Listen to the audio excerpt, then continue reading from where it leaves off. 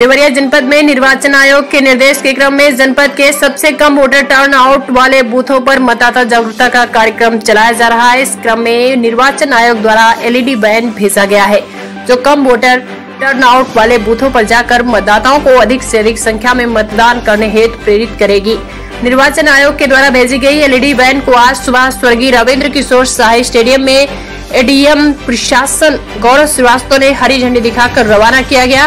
सहायक जिला निर्वाचन अधिकारी मंजूर अहमद ने कहा कि यह एलईडी वैन जनपद के विभिन्न केंद्रों पर जाकर मतदाताओं को वोटिंग के लिए उत्साहित करेगी। इस अवसर पर वैन को हरी झंडी दिखाकर रवाना किया गया, जिसमें मुख्य कोषाधिकारी अतुल पांडे, जिला विद्यालय निरीक्षक वीरेंद्र प्रताप सिंह और खंड शिक्षा अधिकारी देवरिया सदर विजयपाल नारायण त्रिपाठी तथा जिला समन्वयक आलोक पांडे, स्वीप कोऑर्डिनेटर आशुतोष नाथ त्रिपाठी, शिखर शिवम त्रिपाठी एवं जिला निर्वाचन कार्यालय से विजय पांडे, निर्मल कुमार सहित बड़ी संख्या में छात्र छात्राएँ उपस्थित रहे। जनपद क्षेत्र भुवन कुमार त्रिपाठी की रिपोर्ट।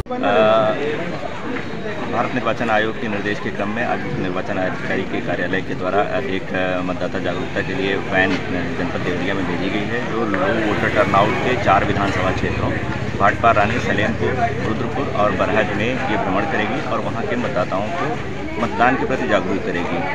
मेरा सभी देवरिया जनपद के सभी निवासियों से अनुरोध है कि आने वाले लोकसभा चुनाव के दृष्टिगत भारी से भारी संख्या में मतदान करें और अपने कर्तव्यों और दायित्वों का निर्वहन करें।